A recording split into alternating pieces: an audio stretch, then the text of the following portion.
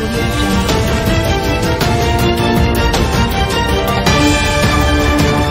नमस्कार, आज तक 24 न्यूज़ में आपका स्वागत है। आपके साथ मैं हूँ आरती गहलोत। आइए बढ़ते हैं खबरों की ओर। आगर मालवा साल के पहले दिन, यानी 1 जनवरी को प्रधानमंत्री नरेंद्र मोदी जब लाइट हाउस प्रोजेक्ट का वर्चुअल शिलान्यास कर रहे थे और उसी दिन मध्य प्रदेश के मुख्यमंत्री शिवराज सिंह चौहान ने दावा किया था कि प्रधानमंत्री आवास योजना के तहत बनाए जाने वाले मकानों की राशि हितग्राहियों के खाते में सीधी डाली जा रही है। बिचौलियों का काम खत्म कर दिया गया और मकानों का निर्माण कार्य तय सीमा में पूरा कर लिया जाएगा। दावों की वानगी यह है कि 2015 में जिन पात्र हितग्राहियों ने मकान का निर्माण शुरू किया था, उनकी भी पूरी राशि अभी तक खातों में नहीं डल पाई है। वहीं आगरमालवा के वार्ड क्रमांक 10 में पक्की दीवारों के बीच खुली छत के नीचे उड़ता हुआ यह धुआँ प्रधानमंत्री आवास योजना की धुंधली तस्वीर बयां करता है। साल 2019 में बनी सूची में विनोद जाटो का नाम आया। करीब दो साल की मशक्कत के बाद जैसे तैसे अपना कच्चा मकान तोड़कर पक्के मकान का निर्माण कार्य शुरू किया और घर की चार दीवारी बना ली। मगर अब महीनों बीत जाने के बाद भी विनोद को अंतिम किस्त का इंतज़ार है।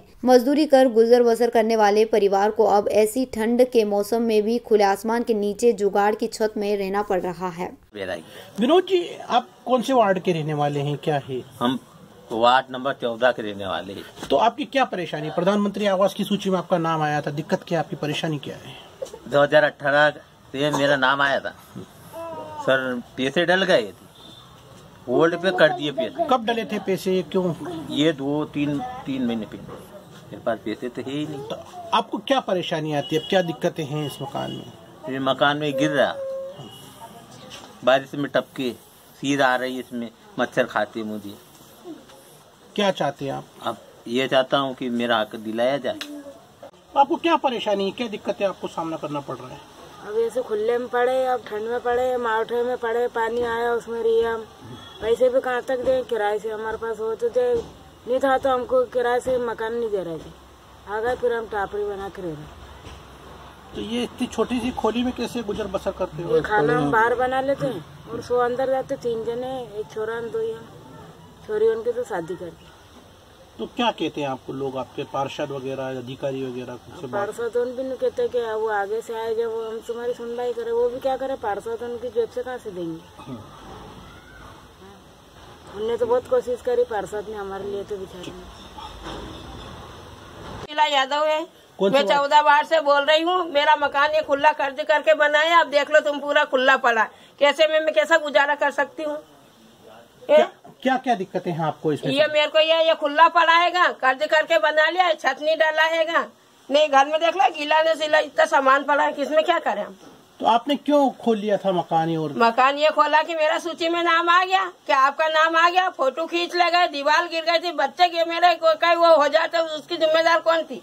मेरा वो ढाई साल का नाम भी आ गया था। उधर नगर पालिका में मेरे कागज़ भी किधर उधर कर दिए कागज़ में थे ही नहीं। मैडम ने भी सब दूर देखे फिर मेरे को डबल कागज़ लिए मैडम ने ढाई साल से मेरा नाम आ गया था। नहीं मेरा ये छत ये तुम्हारे देख लो ये पूरा ऐसे खुले में रह रहे हैं हम। तो क्या दिक्कतें हैं आप लोगों को प्रधानमंत्री आवास प्रधानमंत्री आवास योजना कोई सुन ही नहीं रहा हमारा। बस जब जाते जब बोल देते कि आज नहीं कल आज नहीं कल महीने छह महीने दो महीने ऐसा करते करते पाँच साल कर दिए। करते करते पाँच साल कर हमारे ही वार्ड में ऐसी परेशानी क्यों आ रही? ले जाते फिर वापस कागज़ ले जाए फिर कागज़ ले जाए ऐसा करते करते आज इतने साल कर दिए। पार्षद को डोल देते दिक्कतें क्या आ रही है आपको? मकान नहीं बन पा रहा उससे। हमारी वेतन नहीं है नहीं इतना। वेतन नहीं है, कल डल जाएँगे अगले महीने डल हम दैनिक वेतन कर्म अगले महीने डल जाएँगे ऐसे बस हमारे को हर महीने डालते हैं इस साल तीन चार साल साल कर दिया हमारे को ऐसे करते करते हमारे पार्षद की पूरी कोशिश है लेकिन हमारे पेशेंट डले बस हमारे नाम कब का आगे 2018 से हमारा नाम आ गया और बस हमारे पेशेंट डल रहा है। दिनेश शर्मा। दिनेश शर्मा जी कौन से वार्ड में? वार्ड नंबर उन्नीस में दिनेश जी आप बताओ क्या समस्या? कि प्रधानमंत्री आवास में आपका आवास स्वीकृत हुआ था सूची में नाम आया था कब नाम आया था किस तरह से किस्तें मिली? वो 2015 में, में डली हुई किस्त थी ये चालीस हज़ार रूपए। उसके बाद दो या चार महीने के बाद तीस हज़ार फिर डले। दो चार साल दो साहब आए थे उन्होंने बोला कि मकान तुम्हारा हाइट हो जाएगी पैसे डल जाएँगे। फिर हाइट हो गई छत हो गई काम ही कंप्लीट हो गया माता जी मतलब अभी तक इंतज़ार कर रहे हैं कभी तो डले आप क्या मानते हैं इसमें गड़बड़ी कहाँ आ रही होगी? आप चाहो तो बैंक से लगा के अपने कहीं भी जाँच कर सको आप क्या चाहते हैं इसमें? पैसे चाहिए सर मेरे को क्या चाहिए हम भाई नगर पालिका से अधिकार सबसे निवेदन है कि पैसा डाल दो हमारे खाते में तो हमारा देना लेना कर लूँ तो कुछ राहत मिले। जगदीश गौली आप नगर पालिका उपाध्यक्ष हैं जी। जगदीश जी आप ये बताइए कि प्रधानमंत्री आवास योजना में दो चरणों में यहाँ पे योजना आई थी 2015 2018 किस तरह से योजना चली अब लोगों को पैसा नहीं मिल पा रहा किस्तें नहीं डल पा रही छतें खुली है क्या है टेक्निकल समस्या टेक्निकल समस्या तो कुछ समझ में नहीं आई क्योंकि मैं भी पार्षद रहा हूँ आज चौथी बार पार्षद हूँ। और दिक्कतें आम लोगों को हो रही है पूरी पूरी दिक्कत हो रही है। भाई आपको कोई जाँच करना है आप पात्र लोग हैं उनके बाहर करो ना। उसके बाद भी आप जो पात्र लोग उनको पैसा तो डालो। हम तो बार बार कलेक्टर साहब से भी निवेदन करके आए हैं कि जो पात्र हितग्राही उनको तो कम से कम पैसे डालो। उसको उसकी भी परवाह नहीं कर रहा है हमारे यहाँ के अधिकारी प्रशासन। नहीं आएगा आ जाए ऊपर से टॉप पे ले रहा हूँ। थोड़ा कलर खोल विनोद पूरा नाम बताओ कहाँ मेरा रहते नाम विनोद जाटव लक्ष्मणपुरा सितारा मस्जिद के पास में मेरा मकान है। हम्म। वार्ड नंबर दस। बारह है दस। हाँ। तो विनोद जी ये बताओ कि आपको किस तरह की समस्या है? ये प्रधानमंत्री आवास में आपका मकान का काम चल रहा है छत खुली है उसके बाद बालक है उसकी सांस की शिकायत पतली चलती है उसकी। गरीब इंसान। गरीब है वो भी अपना लग जाए काम पे तो जाने तो नहीं जाए नौकरी चाहिए। खाने को भी तो चाहिए। आप क्या चाहती है? आपका नाम क्या है? बुरी। थोड़ा ज़ोर से बोलिए। बुरी भाई। क्या दिक्कत है आपको? किस तरह की परेशानी आती है? क्या चाहते बस ऐसे खुले में पड़े हैं। उनके अधिकारी उनके पास जाए तो कोई सुनवाई नहीं करते हमारे यहाँ दे देंगे दे देंगे आएँगे से। हम क्या डाले? आधे से आएँगे जब तो हम तुमको देंगे। तो खुले में भी कहाँ तक रहे बीमार दुखी हो रहा है। अशोक प्रजापत। वो पार्षद नगर पालिका अब पार्षद है। अशोक जी आप बताइए जो प्रधानमंत्री आवास योजना है नगर पालिका द्वारा जो दो स्कीम्स लाई गई थी 2015 2018 किस तरह से इसको संचालित किया गड़बड़ियाँ कहाँ आ रही है? क्यों लोग परेशान हो रहे हैं? नगर पालिका के माध्यम से जो पहले जो डीपीआर बनी थी 15-16 में जो बनी थी उसमें करीब 716 लोग हितग्राहियों को लाभान्वित किया था।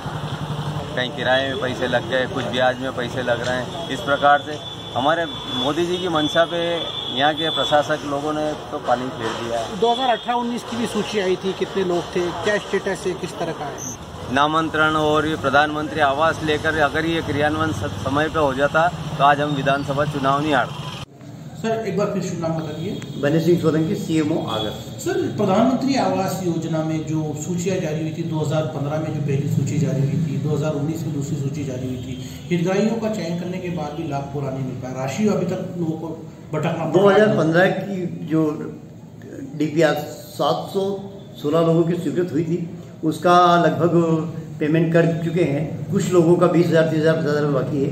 वो सूची बन चुकी है और ये इसके बाद जस्ट बाद में स्वयं मतलब एक ये बना के जो भी गरीब हैं और उनके मकानों पे उन- मालिकाना हक है उनका सर्वे करवाया जाकर मैं स्वयं मतलब एक अलग से डीपीआर बना के उनके लिए अनुमोदित करूँगा। मैं न कि अन्य किसी कर्मचारी के ऊपर विश्वास करूँगा आगरमालवा से जावेद खान की रिपोर्ट।